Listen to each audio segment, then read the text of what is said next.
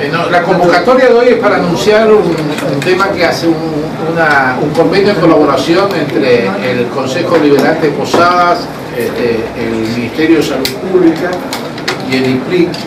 sobre un tema que hace mucho tiempo venimos conversando entre nosotros para tratar de articular este, una campaña donde hagamos más eficiente el sistema de eh, la lucha contra las adicciones. Normalmente estamos hablando de adicciones en general y en particular en el caso del IPRIC nosotros hacemos una campaña preventiva contra la lucha contra la ludopatía. Hoy este, vamos a hacer este, este convenio donde vamos a trabajar en conjunto con el, Consejo Liberante, con el Ministerio de Salud Pública, donde el IMPRIC se va a encargar de hacer algunas eh, colaboraciones con respecto al centro de manantiales de, la provincia, tratar de trabajar en conjunto para aunar esfuerzos en todos los proyectos que desarrolla el IPRIC, por ejemplo, Ulises Felices, para que conjuntamente al, programa de ludopatía que nosotros les inculcamos, también se inculque este, el tema de las adicciones al alcohol, a la droga, a través de toda una tarea que nos va a aportar este, la Secretaría eh, correspondiente a cargo de Mariela Aguirre. Y este, con el Consejo Liberante que queremos trabajar también en conjunto para unar criterios en toda esta lucha de prevención incluso de derivación de gente que tenga ludopatía a los centros que puedan ser tratados para ese fin. vemos que se hace mucho en varias, de varias vertientes para trabajar sobre la, prevención de adicciones. Y ha llegado el momento, y por eso celebro la- la idea de- de- de- del- del presidente y de la presidenta, de poder juntarnos para unar esos esfuerzos, hacer un bloque en conjunto para poder abordar todo lo que tiene que ver en el espectro de las adicciones, que no es solamente las adicciones a las drogas, las adicciones al alcohol, sino también las adicciones a los juegos, enfocado desde un punto de vista multidisciplinario, con organismos que van a ser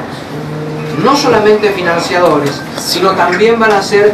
partícipes necesarios de la política pública en lo que tiene que ver con adicciones. Y lógicamente que celebramos esto, que el Consejo Deliberante de Posadas haya tomado la iniciativa de algo tan importante,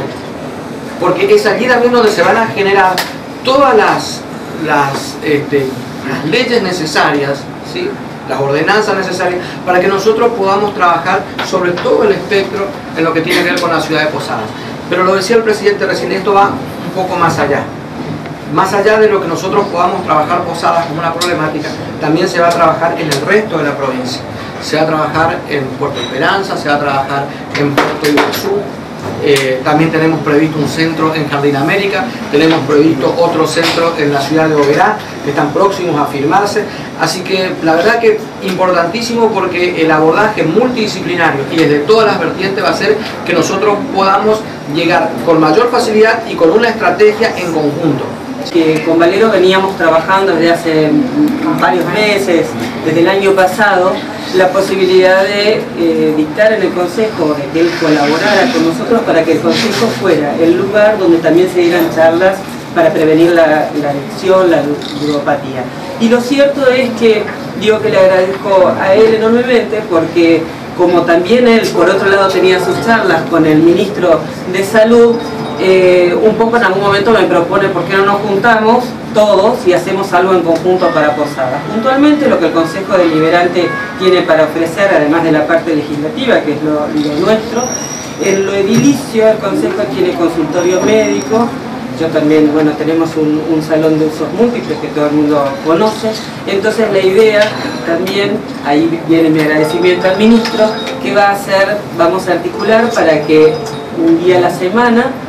se tenga el servicio, como, tiene, como que lleva la, la licenciada Aguirre, en Manantial, podamos hacerlo en el centro de la ciudad de Posadas también y creemos siempre que cuanto más infraestructura pongamos y más recursos pongamos